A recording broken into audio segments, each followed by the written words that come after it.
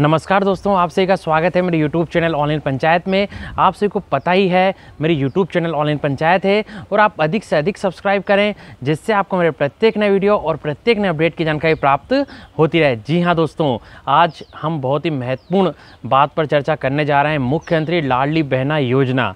दोस्तों, इसमें जो है, अभी सबसे महत्वपूर्ण जो है सभी को लग रहा होगा कि हमारा पेमेंट क्यों नहीं आया, है ना?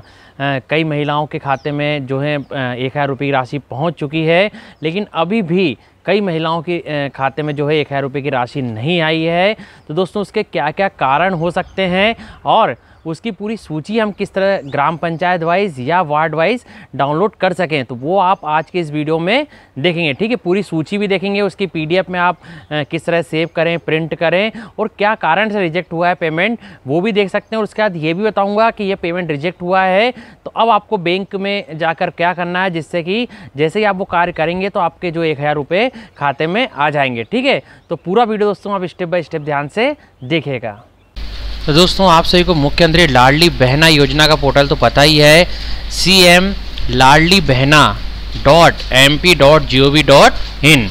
ठीक है, जैसे ही हम ये टाइप करते हैं तो हमारे सामने कुछ इस तरह से मुख्यमंत्री लाडली बहना योजना का होम पेज आ जाता है, इस तरह से पोर्टल पूरी वेबसाइट आ जाती है।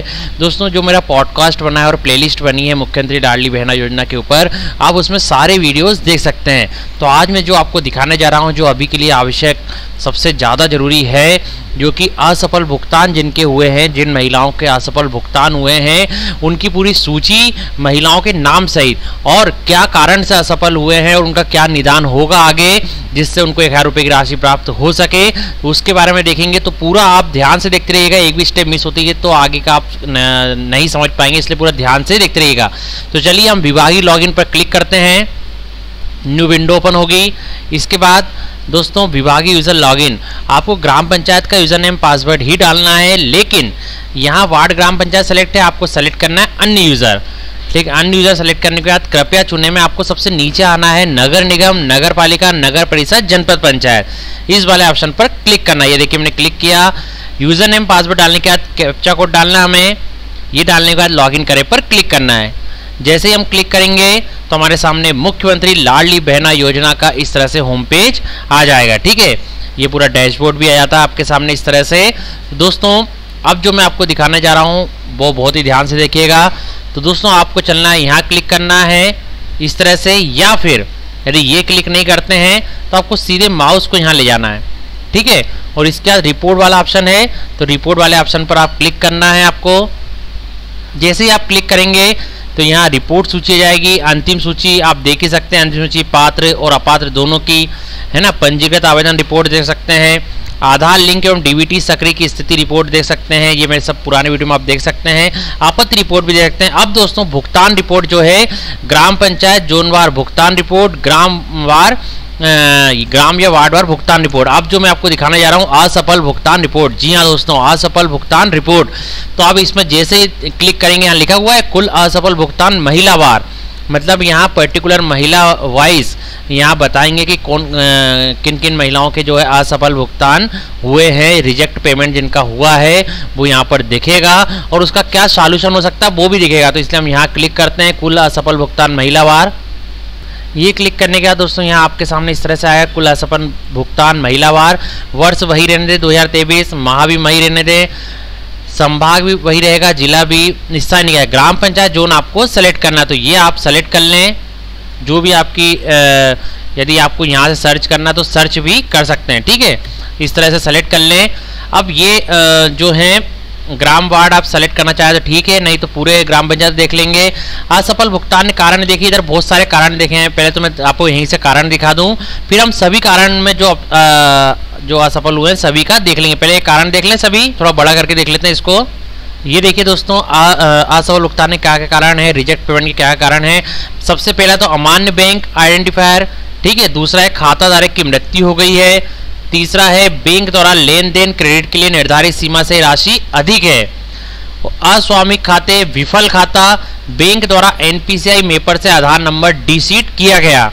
प्रतिभागी को उत्पाद के लिए मेप नहीं किया गया है। खाता ब्लॉक होना या फ्रोजन होना, केवाईसी दस्तावेज़ लंबित होना निष्क्रिय खाता होना, आधार को आईआईएन से मैप नहीं किया गया। ये आईआईएन क्या होता है दोस्तों? ये मैं आपको अभी बताने वाला हूँ, बहुत महत्वपूर्ण पॉइंट है, क्योंकि ये अधिकतर लोगों को यही समस्या हुई है आसपाल भुगतान के लिए रिजेक्ट पेमेंट में, कि आधार को आईआईएन से मैप नहीं किया गया।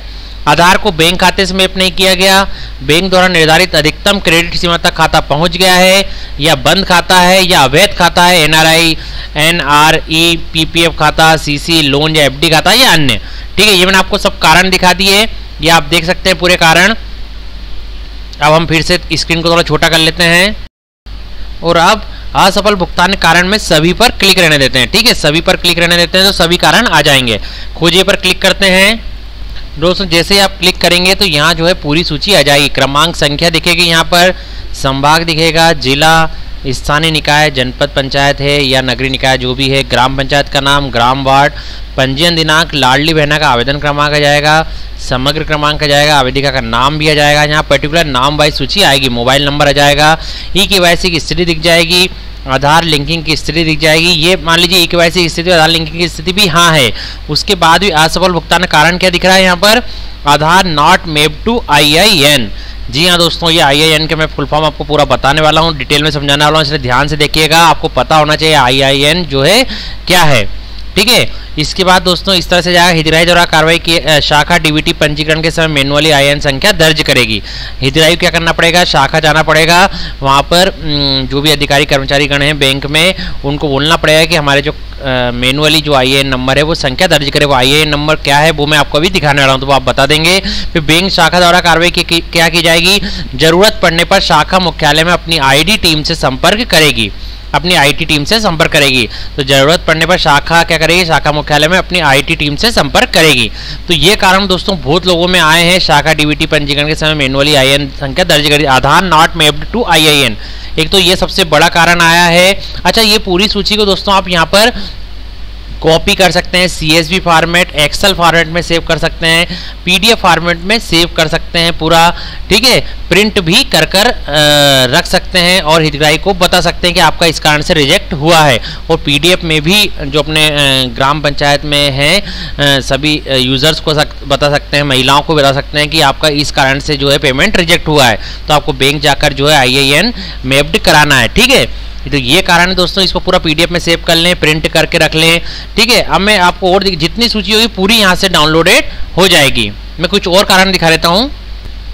कुछ जगह ऐसा भी हो सकता है दोस्तों, जैसे Aadhaar number deseeded from NPCI mapper by bank customer to contact his her bank. ठीक है, कई बार क्या हुआ है कि आधार नंबर जो है एनपीसीआई सर्वर जो डीवीटी है, उससे अनमेप्ड कर दिया हुआ डी सीडेड कर दिया गया हो। ठीक है तो उससे हटा दिया गया हो। तो इस कारण जो है पैसा नहीं आए एक हज़ार रुपये का। तो इसमें क्या करना पड़ेगा? शाखा से संपर्क करें और त्रुटि कोड के साथ आवेदन करें। मतलब अपनी बैंक शाखा चले जाएँ और वहाँ पर फिर से डीबीटी के लिए आवेदन कर दें। आधार ले जाएँ और आधार डीबीटी करने के लिए आवेदन कर दें। ज़रूरत पड़ने पर शाखा मुख्यालय से अपनी आईटी टीम से संपर्क करेगी। इसमें यही आएगा। अब कई जगह तो क्या हुआ है? ये एक तो ये चीज़ बता दी, और बता देता हूँ। अच्छा कई जगह अभी ये भी हुआ है कि आवेदिका ने अभी अभी जो है जो डीबीटी ही नहीं कराया। जैसे एक में इधर आ रही है हमारे यहाँ, ग्राहक बैंक के साथ आधार डीबीटी पंजीकरण करें। ठीक है?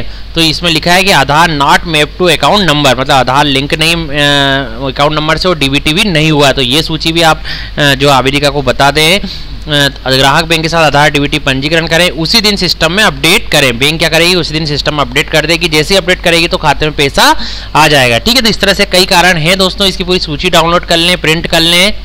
दोस्तों, ये दो तीन कारण जो है, बहुत हुए हैं तो इसकी पी डी ज़रूर डाउनलोड कर ले। अच्छा मैं आप बता देता हूँ, जो बार बार आ रहा है नाम आई आई एन मैं इसकी दो डेफिनेशन दिखाऊँगा, दोनों ध्यान से देख लीजिए।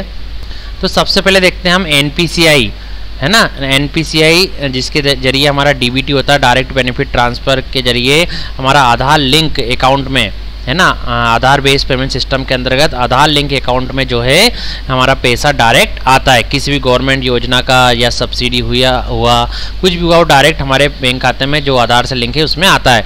तो एनपीसीआई में IIN क्या है? सबसे पहले हम ये देख रहे देखेंगे कि एनपीसीआई में आई क्या है, फिर देखेंगे कि अकाउंट या क्रेडिट कार्ड डेबिट कार्ड में आई क्या है।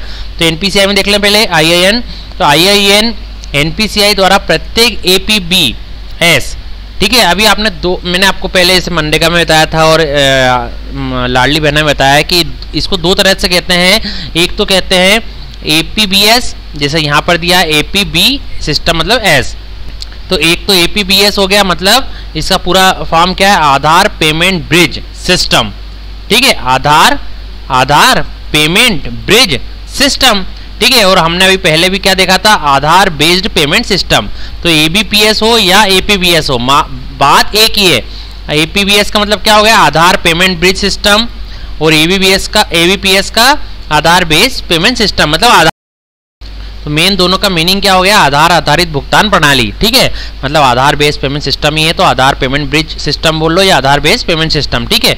तो ये है कि I I N N P C I द्वारा प्रत्येक ए पी बी एस मतलब ए पी बी सिस्टम में भाग लेने वाले बैंक को जारी किया गया एक अद्वितीय यूनिक छः अंकों का नंबर है और इसका उपयोग उस बैंक की विशिष्ट पहचान के लिए किया जाता है, जिसमें एपीबी लेन देन को आधार पेमेंट ब्रिज सिस्टम में रूट किया जाना है। मतलब पहली परिभाषा तो क्या हो गई? आईआईएन जो है एनपीसीआई द्वारा प्रत्येक एपीबीएस में भाग लेने वाले बैंक को जारी किया गया। एक अद्वितीय यूनिक छह अंकों का नंबर है और इसका उपयोग उस बैंक की विशिष्ट पहचान के लिए किया जाता है, जिसमें एपीबी लेन देन को आधार पेमेंट ब्रिज सिस्टम में रूट किया जाना है। ठीक है? तो ये देख लिया। अब हम एक और डेफिनेशन देखते हैं। What is an IIN number in bank account तो बैंक अकाउंट में आई नंबर क्या होता है? द इश्यूअर आइडेंटिफिकेशन नंबर इसका फुल फॉर्म है आई का। Issuer identification number points to the first six to eight digits of a credit debit और any other type of payment card number issued by a financial institution ठीक है, मैं इसका हिंदी बता रहा हूँ तो the issuer identification number I N points to the first six to eight digits of credit debit और any other type of payment card number issued by a financial institution bank account में I number क्या होता है? तो इसका मैं बता रहा हूँ हिंदी में अब। जारीकर्ता पहचान संख्या आईआईएन को बोलते हैं जारीकर्ता पहचान संख्या, किसी वित्तीय संस्थान द्वारा जारी किए गए क्रेडिट, डेबिट या किसी अन्य प्रकार के भुगतान कार्ड नंबर के पहले छः से आठ अंकों की ओर इशारा करता है। ठीक है?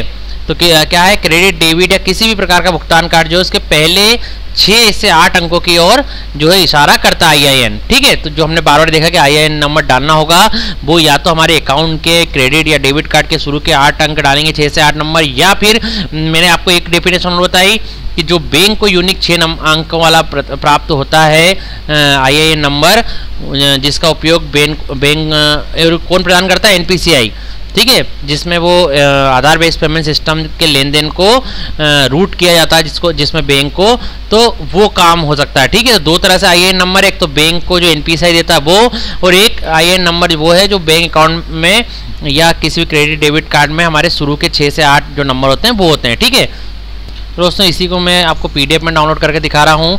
मुख्यमंत्री लाडली बहना योजना, कुल असफल भुगतान महिला बार ठीक है? तो ये पूरा क्रमांक संख्या दिख जाएगी। वैसा वैसे ही सारे ऑप्शन यहाँ पर दिख जाएँगे। ठीक है? वही Aadhaar not map to I N शाखा डीबीटी पंजीकरण के समय मैनुअली आईएन संख्या दर्ज करेगी। ज़रूरत पड़ने पर शाखा मुख्यालय में अपनी आईटी टीम से संपर्क करेगी। यही सारे कारण यहाँ दिख जाएँगे तो इसकी पीडीएफ बनाकर अपने ग्राम पंचायत में भी बता दें और प्रिंट आउट लेकर प्रत्येक महिला जिनका असफल भुगतान हुआ है, उनको आप निर्देशित कर दें कि आप जल्दी से बैंक शाखा जाकर आगे कार्रवाई पूर्ण करें। ठीक है? तो दोस्तों, आज के लिए महत्वपूर्ण अपडेट हमने देखा। इसी तरह दोस्तों, और भी कोई छोटा सा बड़ा अपडेट कोई सा भी आता तो मैं आपको अवगत कराते रहूँगा। इस सब के लिए आप मेरे साथ बने जो रहिए, आपको पता ही है।